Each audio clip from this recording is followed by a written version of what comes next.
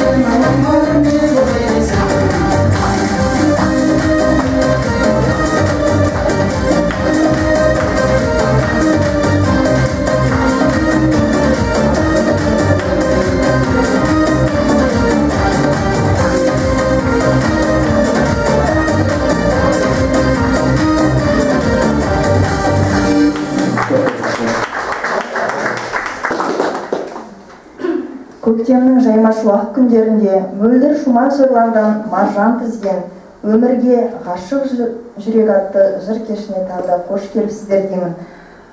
Және де осы орайда мен қолғанаттың өмірбаянымен таныстыруға рұқсат етіңіздер.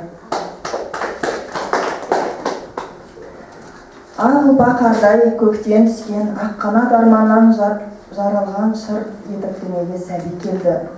Бұл қуанышты сәт осыдан 28 жыл бұрын 1930 1989 жылы 19 қаңтарда Қарақалпақстан Республикасы Нүкіс қаласында болған еді. Ата-анасы періште сәбиіне қарағанда жүректері қуаныштан қанат байлап ұшып кетердей күй кешетін. Сондықтан болар олар сәбидің атын қолғанат деп қояды. Қолғанаттың балалық шағы қас қағым сәтте өтіп кетті десе болады. Өйткені мектеп табалдырығын аттаған жылы анасы бақилық болды. Төртінші сыныпқа өте берген кезде әлі де ойын баласы жасында бір көзін қатты жарақаттап алып, дүниеге жарық дүниеге жалғыз жанарымен қарайтын болды. Жасөспірім шаққа аяқ басқан кезде әкесінен айырылып қала берді. Сол кезде Қазақстан, Қазақстанда Жамбыл облысы, Жамбыл ауданы Аса деген ауылда қолғанаттың нағашы ағасы қолғанатты қарақалпақстан республикасынан көшіріп әкеп өзінің шаңырағына алып келген болатын өз баласындай көрді. Әжесі де ата анасының орнын жоқтатпауға тырмысып бар қамқорлықтарын аяған жоқ. Сол, сол жерде жеңістің отыз жылдығы атындағы орта мектеп бар. Қолғанат сол мектепке барып жаңадан дос тауып енді бір жаңа өмір бастаймын деген үміт пайда болған еді содан жастық шақтың табалдырығында тұрғанда 16 жаста қолғанаттың көзі мүлдем көрмей қалды. Сол сәттен бастап сағаттар күндер айлар жылдар қатып қалғандай болып көрінді сезілді. Бірақ уақыт бір орында тұрмайды ғой. Осы жерде бір адам бір адамға үлгі бола алады. Егер жол таба алмай тұрсаң қол созған адамның қолынан ұста да қадам бас қорықпа ниетің түзу болса адаспайсың деген сөздерді мен республикаға танымал айналайын орталығының директоры айгүл әшімқызына арнап айтар едім. Себебі сол қоғаммен араласқалы қолғанаттың бойындағы қабілеті қайта бүр, ашы, бүр атып жаңа бір екінші өмірі басталғандай болды. Қазіргі күні қолғанат юнеско клубының мүшесі жамбыл аудандық облыстық ақындар жазба ақындар байқауының жеңімпазы айналайын орталығының волонтері және де қоғамдық іс-шаралардың белсенді қатысушысы жақында ғана жамбыл облыстық көзі көрмейтін және әлсіз көретін азаматтардың демеушілігімен қолғанаттың алғашқы өлеңдер жинағы кітабы жарық көрді. Ә, және де қолғанат бүгін міне осы сіздердің кітапханалар, кітапханаларыңызға арнап бірнеше данасын алып келді. Егер де танысып оқимын десеңіздер осы кітапхананың сөрелерінен таба аласыздар. Назар қойып тыңдағаныңызға олай болса бүгінгі кешіміздің басты кейіпкері қолғанат әпкемізді алғашқы өлеңдеріне кезек береміз. Осы кешімді аллах тағалаға арнап шығарған аллаға мадақ атты өлеңіммен бастасам деп едім он сегіз мың ғаламды жаратқан да бір алла. Жер бетіне адамды таратқан да бір алла кір басқан жүрегімді тазартқан да бір алла құбылаға жүзімді қаратқан да бір алла. Қиналғанда мейірімін төгетін де бір алла әр адамның ризығын бөлетін де бір алла. Аурудың да шипасын беретін де бір алла алдыда не боларын білетін де бір алла. Жоқ нәрседен бар етіп жасайтын да бір алла әр әр ісіңді бақылап тұратын да бір алла. Бірін кедей бірін бай ғып сынайтын да бір алла ақыретте жауабын сұрайтын да бір алла. Қорқаушымыз бір алла. Екендігін білейік. Алланы біз әрдайым еске алып жүрейік қандай жағдай болса да алладан ғана тілейік. Аллаға адамның бірінші махаббаты аллаға деген махаббат. Одан кейін мен өзімді мен өзімнің ойымша анаға екінші орынға анаға деген махаббат болу керек. Осы орайда мен өзімнің ә, жастайымнан анам қайтыс болған болды. Өзімнің ә, өзімнің анама арнап шығарған анашым атты өлеңімді оқып берейін. Қабыл алыңыздар. Сағындым сені анашым. Қымбатсың маған дарасың көрініп бейнең елес боп алыстап менен барасың өмірмен ерте қоштастың желменен бірге достастың. Әлемді қанша кезсем де өзіңде жанды таппаспын жарығын сыйлап өмірдің қатемді талай кешірдің. Ұйқымды бөліп түнімен ақ сүтің менен өсірдің. Жырыңмен бесік тербеттің мейіріміңе бөлеттің өмірдің сансыз сырларын бесік жырыңмен үйреттің балам деп бердің барыңды атқыздың қанша таңыңды басымнан келіп сипаған сағындым алақаныңды.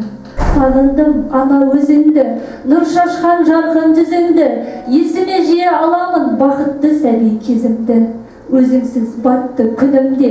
Жанымда жоқсың бүгінде. Сағынсам сені анашым. Көремін жиі түсімде.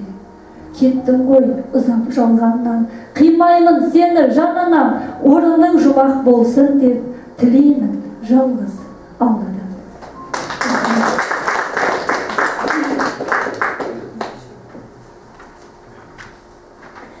Сұлу әлем әлем сұлу сен жаратқан адаммен көк жолының қарсылығын қағып тастап барам мен. Сендік қуат болар бәлкім басын иді көк маған. Әр кез сенен туғанымды есіме алсам тоқтаман деп төлеген айберген ақынның ана өлеңде сезілетін анаға деген құрмет пен бала махаббаты туралы әнге кезек береміз. Орындайтын қолғанат оңғарбаева.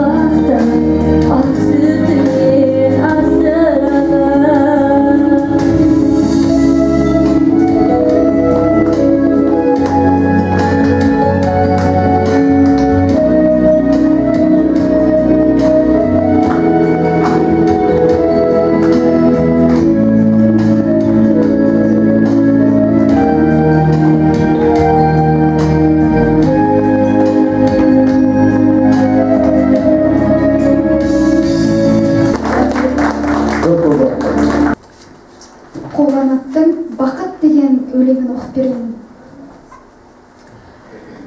деген ең бірінші өмірде мықты әрі сау болуы деніңнің бақыт деген тыныштығы жеріңнің амандығы туған туыс еліңнің бақыт деген ата ананың қасында алаңдамай ойнап күліп жүргенің бақыт деген сүйгеніңе қосылып ажырамай бірге өмір сүргенің бақыт деген қайталанбас өмірде ең қызықты жастық сәби шақтарың.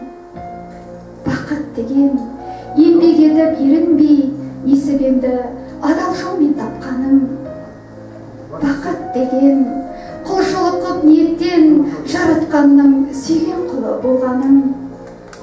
Бақыт деген артыңа із қалдырып бұл өмірде жақсы адам болып қалғаным.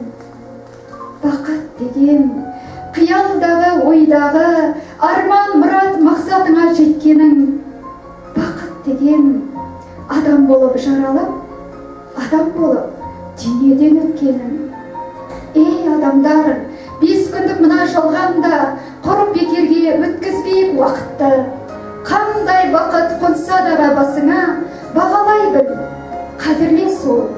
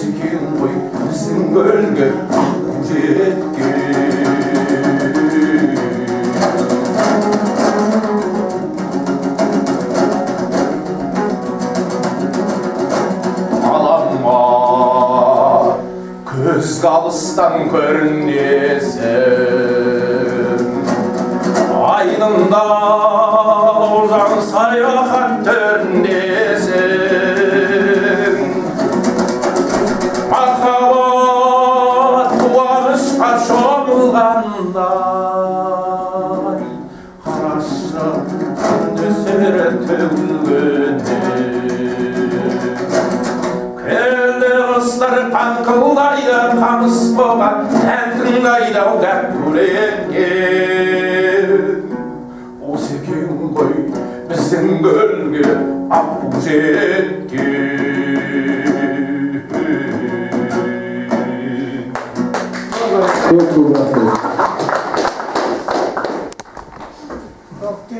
берсін. Қазақстан атамекен құт қонған жер кең дала су мөлдір нұр тоңған жер.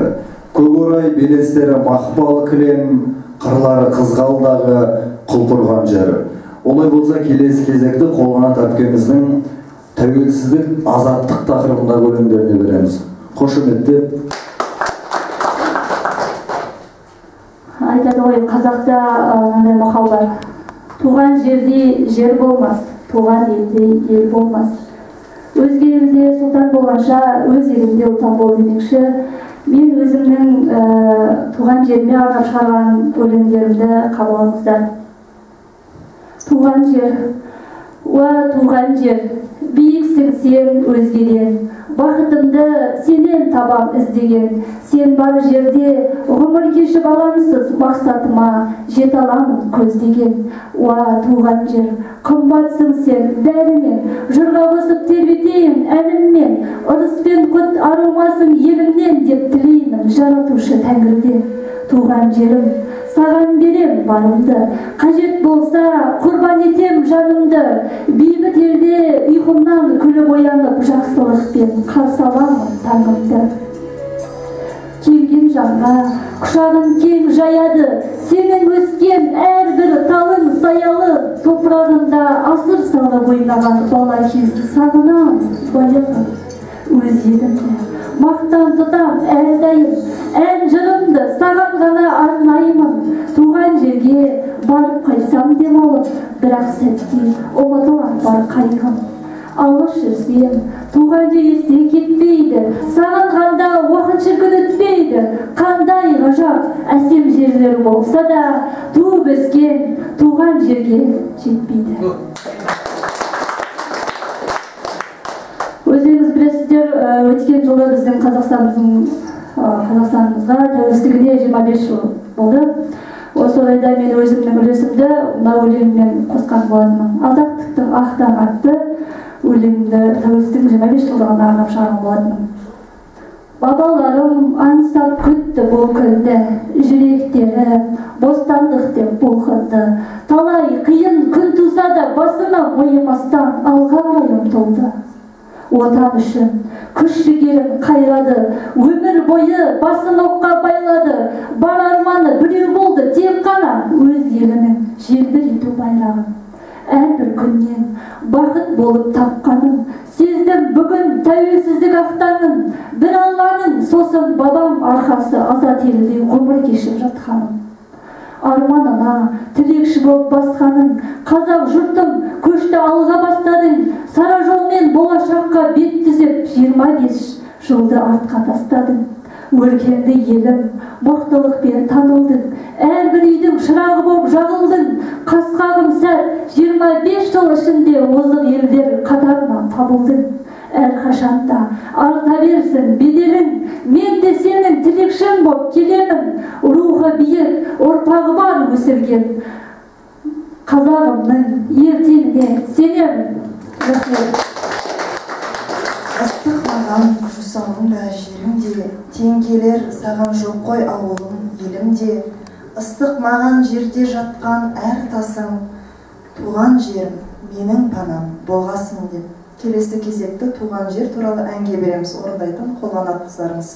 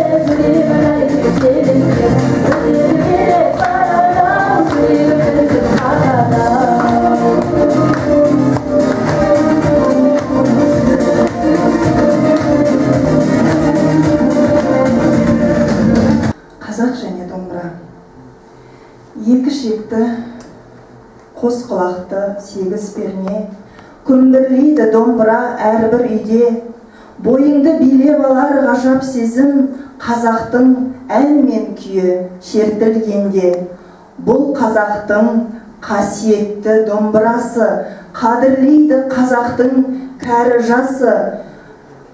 Іші сырты ағаштан жасалынып имек болып келеді қабырғасы. Домбыраны ата бабам кие тұтқан әлі күнге сақталып келе жатқан. Бұл домбыра арқылы қазақ халқы жырын жырлап әнін айтып күйін тартқан. Домбыраны қорға алып қолға алсам шабыттанам. Домбырасыз өтпеген сауық сайран бұл домбыра арқылы қазақтардың ән мен күйі көк аспанда шарықтаған. Күйге толы дүние ай дүбірлеген. Қайран шешем кішкентай күлімдеген. Көбік шашқан сарыөзен жағасында ерке сылқым айжан қыз күлімдеген олай болса алдарыңызға күйші домбырашы сегіз қырлы бір сырлы барлық өнер бойынан табылған талап қараш ағамызды ортаға шақырамыз. Қошеметке қойыңыздар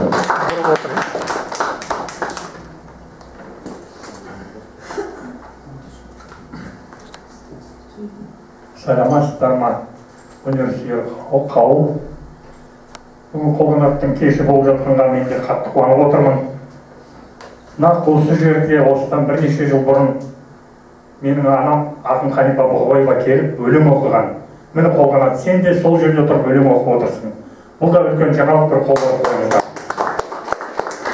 енді қолғанатқа мен құр келген жоқпын сол ақын анамыздың қайыпа бұғыбаеваның ең соңғы рет жарық көрген адасқан жапырақ деген кітабын сыйға тартайын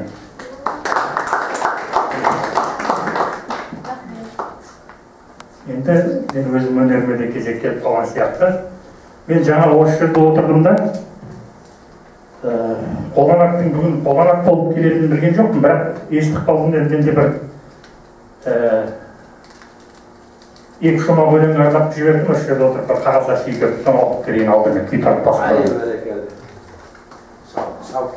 қол қанатқа қанатың мәңгі талмасын жүрегің құс боп самғасын. Жырларың жанға шипа боп жер мен көкті жалғасын.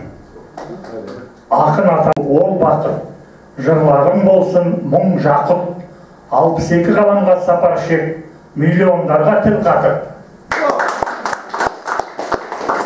Енді кішкентай бір осы жерде рекламная пауза деп жіберейік сол бағанағы ақын ананың кеші бүрсігүні жексенбі күні 19 наурыз күні қазақтың жамбыл атындағы филармониясында сағат үште басталады.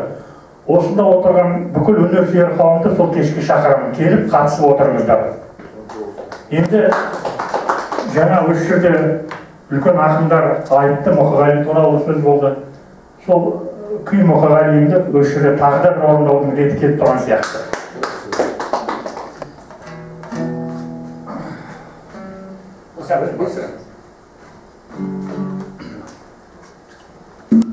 Осы күйдің шығу тарихына тоқталсам бұл күйді сол себебі менің ақын анам қанипа бұғыбаева кезінде әкем екеуі қанағат екеуі мұқағалимен бір ауылда келген нарынқолда жүріп араласып ә, осы әріптес болып бірге жүрген кездері болған ол маған айтқан сонда мен бір мың тоғыз жүз алпыс төртінші жылы өмірге келген екенмін сол алпыс төртінші жылы өмірге келген кезде бір күні әкем мені көшеге көтеріп шығыпты. мен бір жасқа толдым ба толмадым есімде жоқ.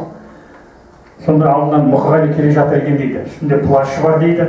шашы жалбырап желменен кигеннің ей мынау сен бала көтеріп алыпсың кімнің баласы десе менің балам депті әкем. соны менің қолыма алып мұқағали батасын берген екен дейді. мыс. енді күй мұқағалиді орындап берейін.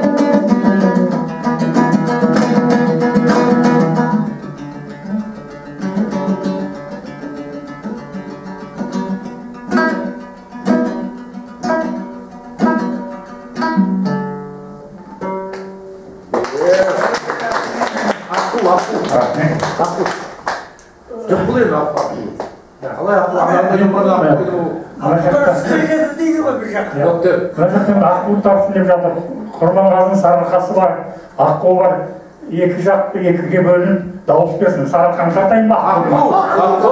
Аққу жақсы. Ал қанат қанатың талмасын. Аққу.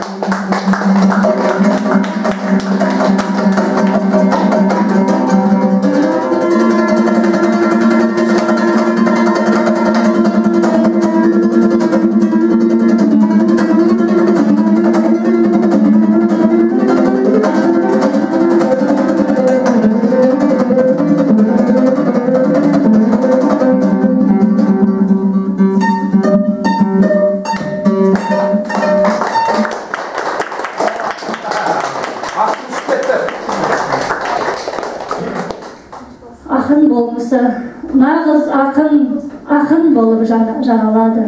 Оның жаны өлең жырдан жаралады. Сол жырларды жүрекпенен сезінген жан өз жанына рухани аралады ақын жандар туылады дараланып жүреді ылғи әр сәтінен сабақ алып жүрсе кейде қуанып жас баладай кейде қалар сәл нәрсеге қапаланып. Ақын жаны ұнатады сұлулықты аңсап тұрар мейірім мен жылулықты жанға азық бойға қуат беретұғын отты жырлар. Сол ақыннан туылыпты. Бәрінен ол биік қояр адамдықты серік етіп өз жанына адалдықты. Адасқанға жол көрсетер өлеңімен ажыратып жақсылық пен жамандықты.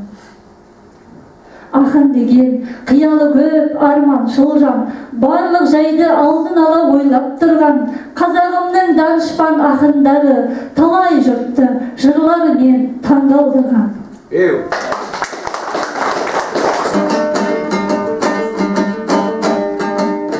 Ең бірінші бақытым халқым менің. Соған берем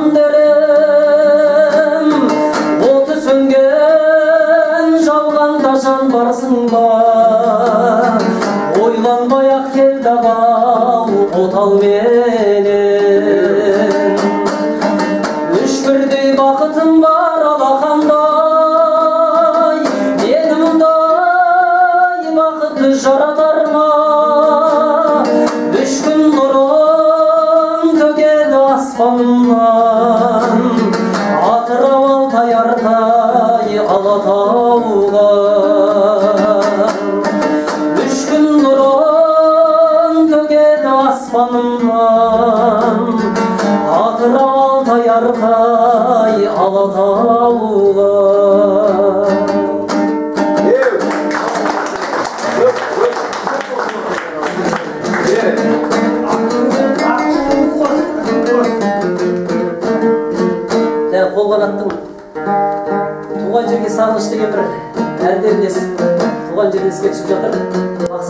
күнәлі сөзі серік бабахан күнәлі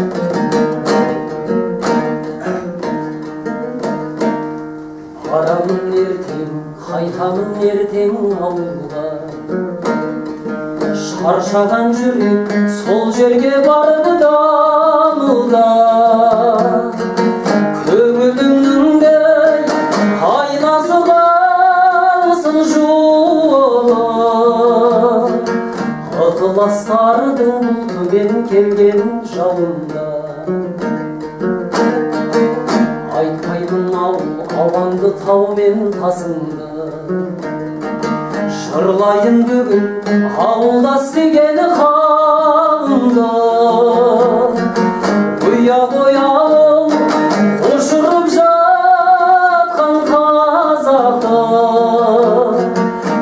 қандай бақыттан күндерде тебір тауылды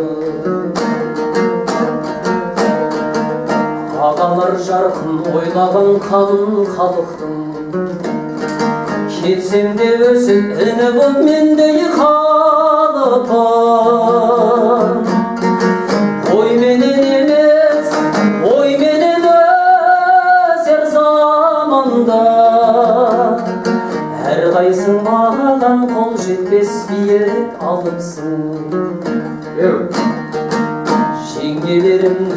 көздері жарқын атқан күн көргенде күнде сейілер мендей батпан мұң имене басып қазанын азып үндемі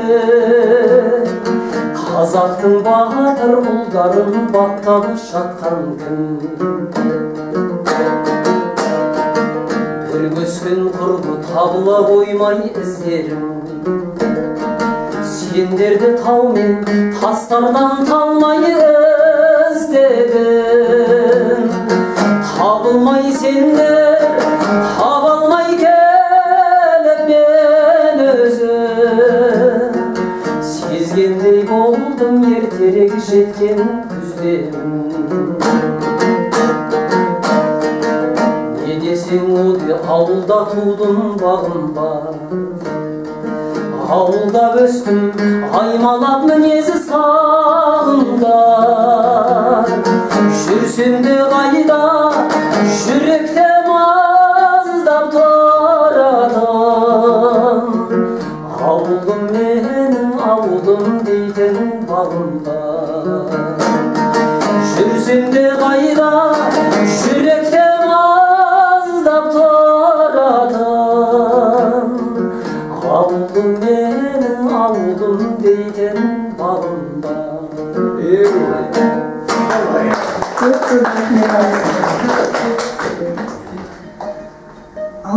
терезеңнің жүріп өттім. Сен мені байқадың ба құдіреттім? Тұрдың ба терезеңнің ар жағында? Теңселіп тұтқан пердең діріл етті деп мұқағали мақатаев ақын айтқандай жұмбақ сезім ғажап сезім туралы қолғанаттың өлеңдеріне кезек береміз. Ғашық сезім.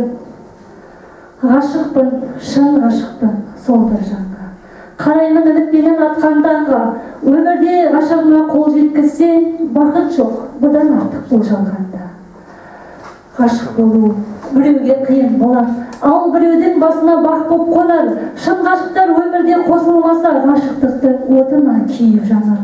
Ғашық жүрек сыңарын сағынады келмес егер көңілі жабығады сүйсең егер біреуді жүрекпенен ақыл ойын сол жүрекке бағынады. Ғашық сезім. Ұяласа жүрегіңе бірде жанып бірде от боп күйеді ме? Шын ғашықтар өмірде қосылмаса ғашықтықтың отына күйеді ме? Сені ғана бұл өмірде сені ғана таңдадым. Өзіңменен бірге болу арманым сені ғана мәңгі сүйіп қалғаным маған деген сыйы шығар алланың. Бұл өмірде сені ғана таңдадым. Сенен өзге ешкімге көз салмадым жүрегіме ұялатып сезімді көңілдегі үмітімді жалғадым бұл өмірде сені ғана таңдадым бір өзіңсің ең асылым ардағым сезімге толы жүрегімнен ақтарған жырларымды тек өзіңе арнадым бұл өмірде сені ғана таңдадым қандай бақыт сен қасымда болғаның жүрекші қол ұстасып екеуміз махаббаттың бірге татып балдамын бұл өмірде сені ғана таңдадым. Бір тек сен үшін атып жатыр таңдарым қосақ қудай ажырамас өмірде. Өзің болшы мәңгі менің жан жарым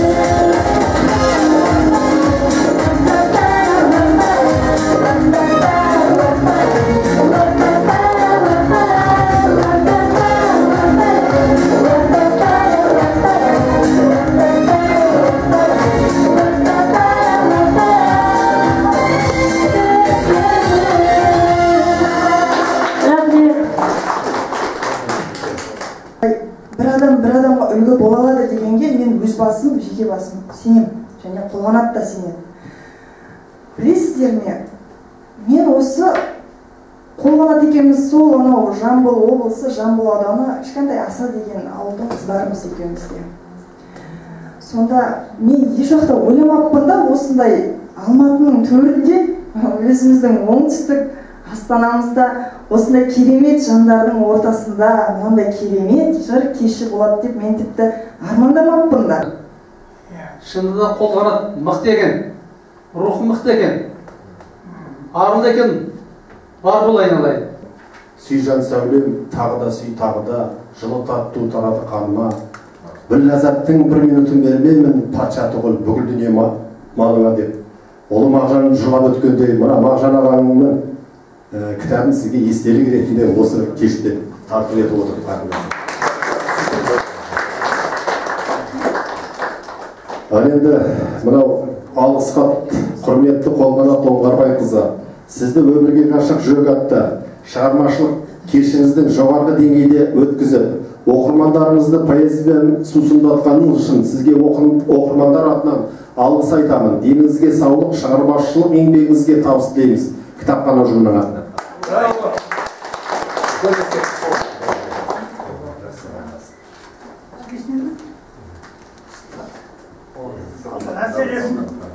енді біздің осы бөлімнің атынан біздің осы ұжымның атынан саған талантың шарықтай берсін шабытың ша- шарықтай берсін деп ақ жол тілеймін.